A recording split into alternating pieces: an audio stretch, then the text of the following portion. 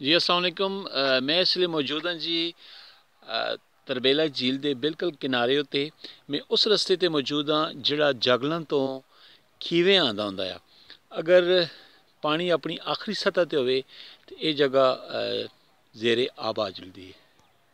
ਜੀ, ਮੈਂ ਜਿਸ ਜਗ੍ਹਾ ਮੌਜੂਦ ਹਾਂ, ਮੇਰੇ ਕੈਮਰੇ ਦੇ ਬਿਲਕੁਲ ਸਾਹਮਣੇ ਤਰਬੇਲਾ ਝੀਲ ਦਾ ਖੂਬਸੂਰਤ ਮੰਜ਼ਰ ਔਰ ਇਹ ਉਹ ਮੈਦਾਨ ਹੈ ਜਿਸਾਂ ਮੈਦਾਨ ਹਰੀਪੁਰ ਜਾਂ ਮੈਦਾਨ ਵਾਦੀ ਹਰੀਪੁਰ ਆਖਦੇ ਹੁੰਦੇ।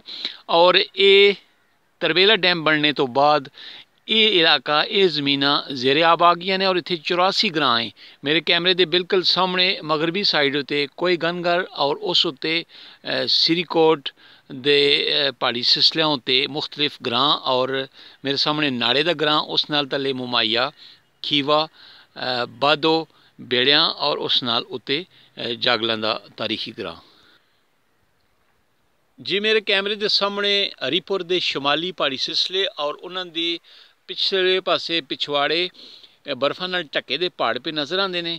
ਗਾਲਬਨ ਇਹ ਸ਼ਿਰਵਾਨ ਦਾ ਪਹਾੜੀ ਸਿਲਸਿਲਾ ਜਾਂ ਉਸ ਤੋਂ ਪਿੱਛੇ ਨੇ ਇਹ ਸਫੇਦ ਬਿਲਕੁਲ ਬਰਫਾਂ ਨਾਲ ਢੱਕੇ ਦੇ ਪਹਾੜ ਨੇ ਜੀ। ਇਹ ਬਿਲਕੁਲ ਮੇਰੇ ਸਾਹਮਣੇ ਜੀ ਜਾਗਲਾਂ ਦਾ ਤਾਰੀਖੀ ਔਰ ਪੁਰਾਣਾ ਗ੍ਰਾਂ ਹੈ। ਇਸ ਨਾਲ ਤਲਾ ਮੁxtਲਿਫ ਗ੍ਰਾਂ ਨੇ ਔਰ ਨਦੀ ਦੌੜ ਦਾ ਜਿਹੜਾ ਰੰਗੀਲੇ ਦਾ ਪਾਣੀ ਹੈ, ਉਹ ਇਸ ਮਕਾਮ ਤੱਕ ਆਂਦਾ ਹੈ, ਜਿੱਥੇ ਮੈਂ ਖਲਤੇ ਦਾ ਮੇਰੇ ਸਾਹਮਣੇ ਸਰੀ, ਪੰਡੋਰੀ, ਗਦਵਾਲੀਆਂ ਔਰ ਮੁਮਾਈ ਦੀਆਂ ਮੋਰੀਆਂ ਇਹ ਪੀਮਾ ਨਜ਼ਰ ਆਉਂਦੀਆਂ ਨੇ। ਜੀ, ਮੇਰੇ ਕੈਮਰੇ ਦੇ ਸਾਹਮਣੇ ਬਿਲਕੁਲ ਅਮਾਜ਼ਈ ਦੇ ਪਹਾੜੀ ਸਿਲਸਿਲੇ ਔਰ ਇਹਨਾਂ ਅੱਗੇ ਮੁxtਲਿਫ ਪਹਾੜੀ ਸਿਲਸਿਲੇ ਨੇ ਔਰ ਬਿਲਕੁਲ ਆਖਰੀ ਜਿਹੜਾ ਪਹਾੜੀ ਸਿਲਸਿਲਾ ਹੈ, ਉਹ ਸਫੇਦ ਚਾਦਰ ਉਸਨੇ ਓੜੀ ਦੀ ਹੈ ਜੀ।